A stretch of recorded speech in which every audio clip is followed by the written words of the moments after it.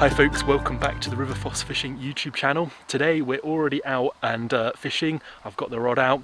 I've chucked in a couple of handfuls of bait, some meat and some pellets to try and kick things off and we're fishing just off some bushes on the far side at the moment. But as darkness falls I'll probably inch it into the middle just a little bit more to try and not get snagged if anything big takes my bait. A barbel or a chub would go down very very nicely. It's already probably nine o'clock so um, I'm only going to fish for maybe three three hours, not a long session, but hopefully prime fishing into darkness. Anyway, fingers crossed for a fish.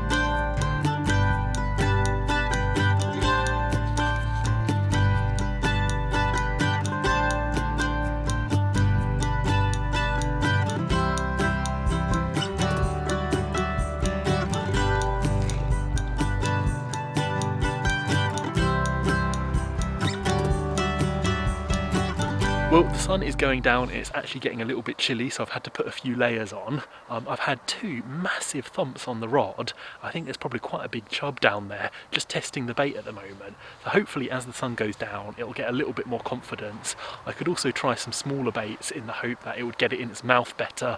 Um, but obviously I want to try and attract barbel really, so that's why I'm going some bigger baits at the moment.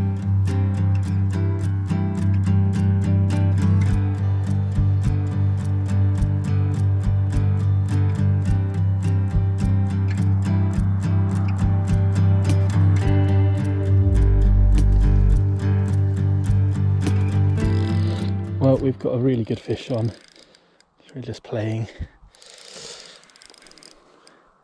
It's quite big, quite heavy. I think that's a chub. Some big head shakes. Could be a little barbel, but I don't think so.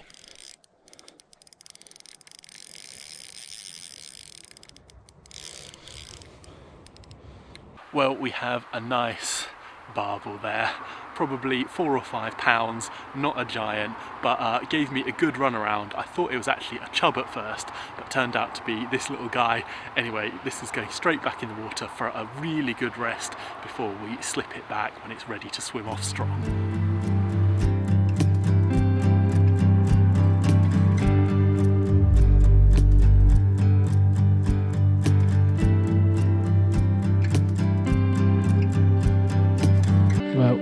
again.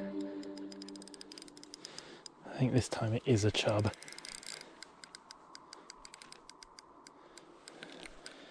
Not sure though. Got some bigger head shakes.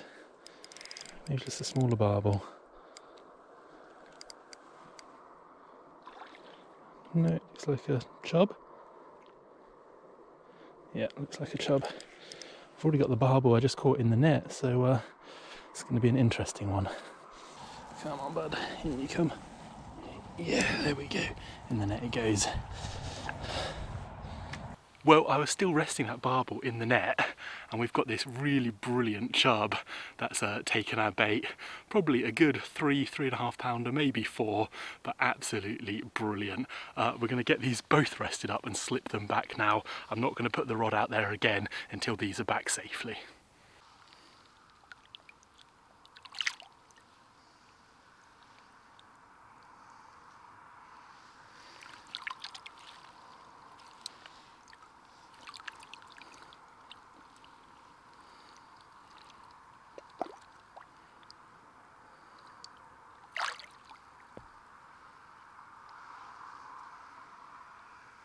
Well, that was an absolutely brilliant period of fishing there. Two cracking fish, a really nice barbel, quickly followed by a chub. The chub coming in before I'd even fully rested that barbel.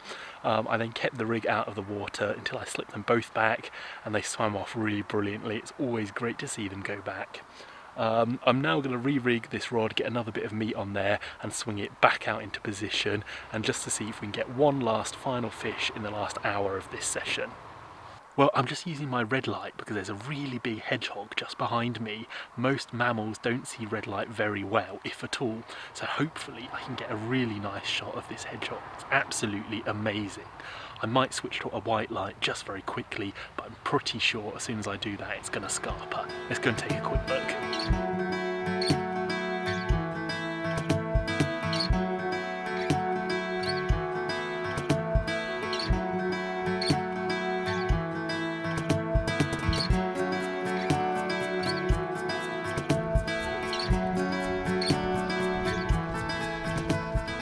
Oh, well, it got kind of late in the end, but I managed to get my kit packed away and get back up to the car in the darkness. The moon was absolutely incredible, so I stopped for a few quick pictures of that. Not that they do it anywhere near justice, it was absolutely amazing. Fishing wise, not too bad either. A nice barbel to kick off with, and then literally a few minutes later, a really good chub. Two fish, can't complain with that. Seems like every session I go at the moment, I always seem to catch two fish, either barbel, chub, or as today, a combination of both. I really hope you have enjoyed this episode.